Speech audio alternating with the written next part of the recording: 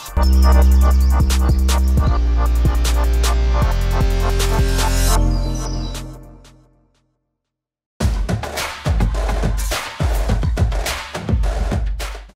ジロックフェスティバルライブ on YouTube. テンダーさんに来ていただきました。よろしくお願いします。よろしくお願いしまますテンダーさんとお呼びしましょうか。川原さん。あーテンダーさんでテンダーさん。大丈夫です。じゃあ、はい。テンダーさんって呼ばせていただきはいお願いします,、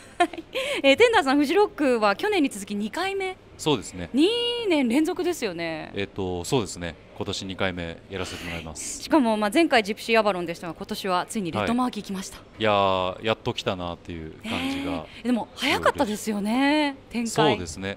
なんかあのちょうどテンダーっていうものを始めて今1年半ぐらい経つんですけど、本当にあのすごいスピードでいろんな物事が進んであの、まあ、すごい楽しい状態で毎日を過ごしているというかやらせてもらってますね、えーライブ明日に控えてらっしゃいますけどそうですね。今のお気持ち前日のテンションってどんな感じなんですか？なんか去年とかはなんかちょっと武者震いというかなんかやっぱこうすごい興奮が絶えない状態があったんですけどなんかあのー今のところはすごいコンディションいい状態でなんかある意味すごいクールな状態でいられてるというかまあ多分当日明日になったらなんかすごい緊張とかまああると思うんですけどなんか今意外とこうちょっとあの武者のごとくなんかこう構えてる状態というかクールにいる状態ですうね。ん。もうあの準備万全というかなんかひげのひげひげのこだわりが今年は。あー。なんか去年去年の失敗があったみたいなあーあのなんか同じようにこう取材させてもらった時があったんですけど前日にあの日本酒をめちゃくちゃ飲みすぎちゃって。で、えでそれがまあ朝まあ夜中の本当朝になる前ぐらいまでずっと飲んでたんですけどあの取材の時間をちょっとこう伝えられてたのと違う時間になっててほぼほぼ寝起きの状態でこういった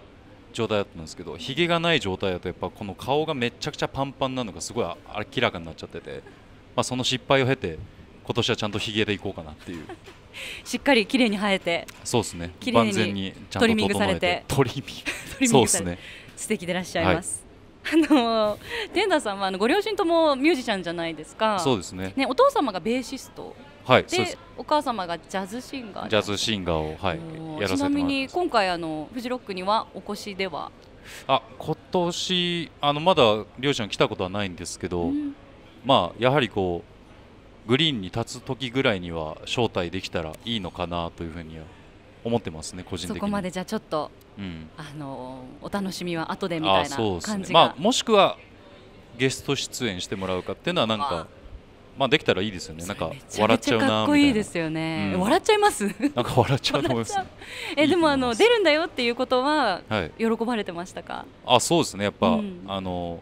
母親の周りの友人らが結構あの音楽好きなことがやっぱ多くて、うん。なんかそういう方からなんかこう間接的に聞くことが多いらしいんですけど、うん。まあ頑張ってるんだねみたいな話はよくあのちらっと聞いたりはしますねうなんか。ん。あのでもよく実際一緒にセッションはされてるんですもんね。うん。まあそうです。ねなんかあの両親のバースデーライブの時とかうん。は、い。なんかよく一曲あんた歌いなさいみたいな感じで参加したりとかはまあちょいちょいやってます最近のバースデーライブに関してすごい気になることがあるんですけど、うん。今月の頭にお父様のバースデーライブありました？ああありましたありました。あの映像を上げてますよね SNS に。ああツイッターで上げてます。ね。あれでめっちゃ踊ってる方とギター弾いてる方とドラムの方が映ってて、ああはい。えお父様ってベーシストですよね？どどれがお父様ですか？あの踊ってるのが父でしたねあの時は、え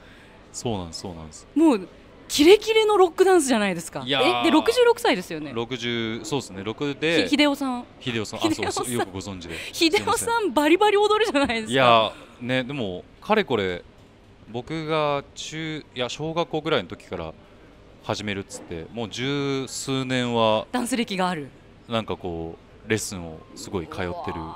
みたいですね。かっこいい。ファンキーですよね。ちょっとまだごありがたいことに。覧になってない方ぜひあのちょっとツイッター遡ればまだね多分まあそうですね。映像あなんりますもんねかあるかもしれないですね。かもなんでちょっと見ていていただきたいと思いますが。はい。あのそういうやっぱりご両親の影響もあって自然な流れで音楽の道を進まれたんですか、そうですね。なんかまあやっぱり音楽が常に鳴ってる環境っていうのがありましたし、まあ、常に母が歌を教えるなりで歌声が聞こえるだったり父がウッドベースを練習してる音だったり、まあ、自然に、まあ、自然音としてあの自分の中に取り込まれてたもんだったのでなんかこう幼少期まあちっちゃい頃はなんかこう例えば俳優になりたいとかなんかそういう全然違うこと言ってたんですけどなんか自然と音楽の道に進むのは何の抵抗もなくというか両親も素直に受け入れてくれたのでなんかすごい自然な状態でって状態ですね。うん。あの、はい、ピアノから始められてで、うん、吹奏楽部学生の時は入られててそうです、ね、なんかもうめちゃめちゃ数多いですよね、うん、弾ける楽器。あそうです。なんか最初が、えっと、トランペットから始めてでその次にバリトンサックスを吹き始めてで高校からまたちょっと人数減っちゃったんでサックス全般を任されたり、まあ、バスクラリネットってやつとかあとホルンっていう。全然でも違いますよ。同じ吹奏でもだいぶ楽器によって吹き方も練習量も、まあ、そうですね。でもなんなんでしょうね。でもなんかこうとにかく楽器触るの好きだったんで、うん、なんかこう基礎練習はあんまり好きではなかったんですけどこう楽器をいじったりとかなんか鳴らしてみたりっていうのはすごい好きだったからそこはなんか意外とすんなりできたのかもしれないっていうか、楽しかったですね。そういう経験が終わりになって今では、うん、あのもちろんソロ活動もされてますけど、はい、いろんなアーティストさんのうん、あのサポートだったりバンドメンバーだったりでいろんなこう、はい、マルチプレイヤーとしていろんな楽器をね、担当されてたりあとバンドのベースボーカルも担当されてるじゃないですか。そうですね、はい、いろんな顔があると思うんですけど、うん、ソロとバンドのフロントマンと、うん、まあ、サポート他の方のバンドで、うん、それぞれどういう醍醐味がありますかやってて？なんでしょうね。ソロはやっぱこうフットワーク軽くいけるっていうか、まあ、ですしやっぱ、まあ、テンダっていう言葉自体にまあ自分の意思が宿ってはいるのでなんかそういう意味ではすごくこう自由に自分のやりたいことを表現できる。のがまあソロのいいところだなって思うしバンドはやっぱこう複数の、ね、価値観の違う人間でやるからこそなんか全然違うものがやっぱ生まれるじゃないですか。やっぱそういうバンドにしか生まれない厚さだったりとかなんかそういう美しさってすごいあると思うしそこはなんかやっぱ両方ともすごい好きですねだからもうサポートとかプロデュースも、まあ、いろんな人とのこう価値観のすり合わせをする中でいろんな発見があったりするのでなんか本当にどの活動もすごい楽しく日々やってるかなって感じですね。あのそして昨年の10月にファーストアルバム「はい、トインオールマイティ」出ましたけど、まあ、タイトルもすごいウィットに富んでて素敵だなと思うんですがなんか今回今までのこう音重視の作り方から、言葉重視の作り方にちょっとシフトした作品でもあるのかなと思うんですけど。そうですね。確かに。なんか、まあ、結構あまり歌詞を書くのが得意ではなかったのでなんかそこに対してまあ向き合うものが向き合うべきタイミングがすごい増えてきたというかですしなんかこう自分が思ってることをまあ活動に表していこうってなった時にまあやっぱこう言葉に向き合うのは一番大切なプロセスかなと思ったのでまあそういう意味では最初の意思表示がそのアルバムで出せたんじゃないかなっていう気がしてますね。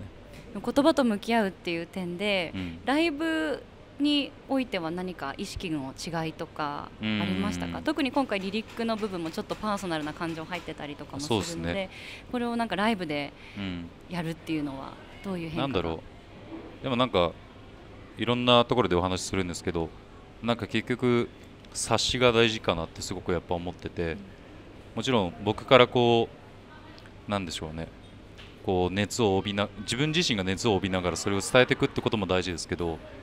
ぱりこう同じ感覚で楽しんでいくってことがすごい大事なのでもちろんゆったり踊りたい時はこう一緒にゆったり踊ればいいし自分がここを盛り上げたいって時はそれを意思表示すればいいしなんかその本当にアーティストと、まあ、そのリスナーっていう距離感はあったとしてもなんかそこを詰めても僕はやっぱその一体感がやっぱそれこそすごい生まれるからそれはなんか本当曲とか会場とか雰囲気によってその場にしかないものをこうちゃんとお互いで楽しむようなものを作れたらいいかなっていうふうには最近は思ってますね。ありがとうございます。なんかそれ聞くとますます明日のライブ楽しみになりますけど、うん、そうですね。ねはい。あのタナさんってこうやってお話してもすごいこう落ち着いてらっしゃるし、うん、音楽してる姿もクールだったりするんですけど、うん、MC 結構緩めじゃないですか。そう お茶目っていうか。そうですね。あのダジャレとかもお好きなダジャレ？なんかこうテンダーっていう名前をょっとギャグにするみたいなの定着しようとしてますか？いや全然ね僕は全くそういうつもりはないんです。け どないんですね。ないんですけど、ね、多分去年のあの富士の時に、うん、なんかこう謎のテンションでなんかこう天気がちょっと雨降ってきたんですよね。でちょっと止んだ瞬間があってそのタイミングで MC をしてたんでなんかこうなんでしょうね恵まれテンダーみたいなことを言ってしまった 謎のテンションがちょっと変な引き金になってしまったのはなるほどなるほど。まあでもなんでしょうねなんかみんな好きなようにいたらいいんじゃないですかね。じゃそれ気に入って使って使いたかったら使ってもいいよっていうじゃあテンダーさんに今日あえて感動してんだとか私は使っていいっていう